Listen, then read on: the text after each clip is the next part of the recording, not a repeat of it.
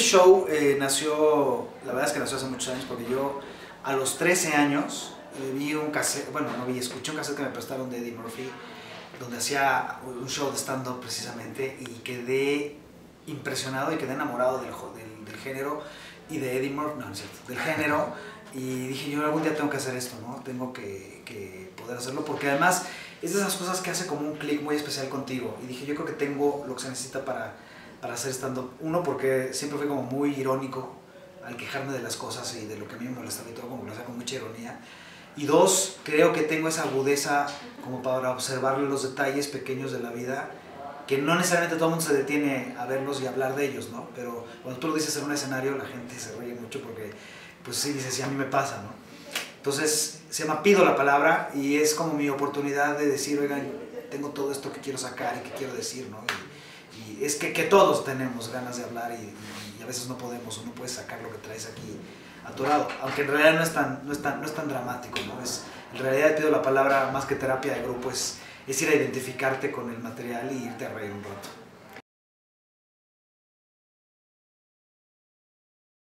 Mira, siempre es difícil, pero sobre todo cuando empecé a hacer stand-up en un México donde no estaban tan acostumbrados a este género y a este tipo de comedia. Pero la verdad es que cuando disfrutas y te gusta lo que estás haciendo, yo sé que suena muy trillado, pero es que disfruto mucho hacer esto, te das cuenta que ya vienen las 100 representaciones y cuando vueltas para atrás dices, ¿a qué hora pasó todo esto? ¿no? Claro que cuesta trabajo abrirte puertas, irte a parar a un lugar nuevo y decir, oigan, yo tengo un show y lo quiero presentar aquí, no te conocen, dicen, tú quién eres. Pero ahí hemos ido caminando poco a poco y pues sí, hoy estamos cumpliendo 100 shows y espero que vengan otros 500 más, ¿no? Para el show de las 100 representaciones de Pido la Palabra, es un show único. Van a no voy a decir que sorpresas porque en realidad ya saben qué es lo que va a pasar y quiénes van a estar. Pero es un show único. de- se van a subir los estandopados, ¿no? Cada uno a hacer su, su estilo. Cada, Jurgen, eh, Mauricio Jalife, Gonzalo Curiel. eh, después viene Adal Ramones que se va a subir a hacer un poco de stand-up que es maravilloso haciéndolo. Algo que tiene este señor es que, eh, ya es chistoso decir, hablar de Adal y decir señor, pues que es un señor, ¿no? Pero todo el mundo lo con la gorra. Pero es un, es un cuate que tiene tantos monólogos ya hechos en la cabeza que tiene referencias para lo que quieras. Dices perro y tiene 20 chistes para decirte de, perro, ¿no? Entonces, y el manejo que tiene con el público es maravilloso. El poder de improvisación que tiene también. Y después vendré yo a hacer mi show. No lo voy a hacer completo, voy a hacer un poco porque para darle también tiempo a los invitados, voy a hacer unos... Mi show dura de hora y media, hora 45. Y aquí lo voy a hacer, pues nada más voy a hacer como 40 minutos. Y vendrá después Marta de Baile a hacer este, a decir unas palabras y vamos a firmar todos ahí un póster que, conmemorativo que se va a quedar ahí en el Wallah y, y va a estar muy bonito. Esto, por supuesto, es una cosa muy, muy fuerte que tiene el stand-up es que no todas las noches son iguales. Tú puedes tener una noche donde te fue increíble y, y la gente se murió de risa y te aplaude, tienes que esperarte a que acaben de reírse o de aplaudir para continuar. Y viene otra noche donde haces exactamente lo mismo y la gente no reacciona igual, ¿no? Hasta ni se ríe y dices, ¿qué pasa? Que están, este, están despiertos, ya se murieron todos, este, ¿no? Pero, y vas aprendiendo, y vas aprendiendo a seguirle y a seguir adelante y a modificarlo ahí sobre la marcha y decir, este tema no funciona, entonces me voy a esta otra cosa, o esto está funcionando muy bien, me sigo aquí a ver qué improviso sobre el mismo tema para alargarlo. Vas aprendiendo cada noche, ¿no?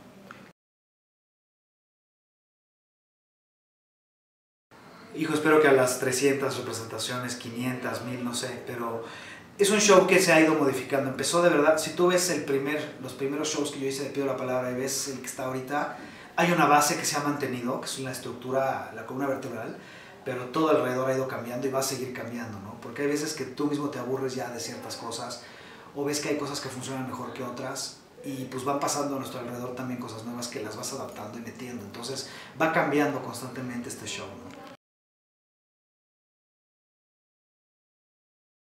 Mí me encantaría, la verdad es que eh, ahorita estoy, en el momento de seguir como, de alguna manera, seguirme dando a conocer aquí en el DF. He salido a hacer algunas cosas, he ido a Querétaro ya varias veces, he ido a Celaya también, pero sí me encantaría agarrarme una gira por toda la República de fines de semana o entre los jueves, por ejemplo, jueves o viernes, y de agarrar este país este, durante un año, ¿no? De estar viendo acá a diferentes lados y seguir haciendo el show aquí los sábados. Está, eh, hay un show que acabo de empezar, que estrené con Mauricio Castillo, que se llama Humores Perros, que también es stand-up comedy. Pero ahí no necesariamente soy yo, en realidad ahí estoy como productor.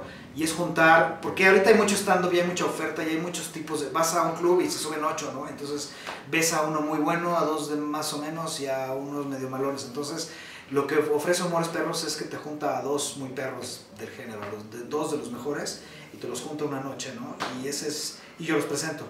Y hago un poquito de stand-up, ¿no? Entonces este, los estrené con Mauricio Castillo hace poco, nos fue muy bien.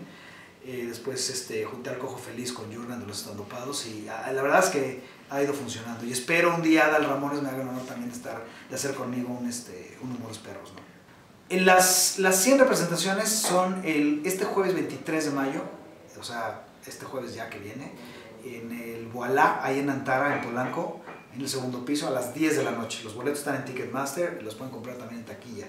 O al 5281-6104. No, 5280-6104. Pero más fácil en Ticketmaster.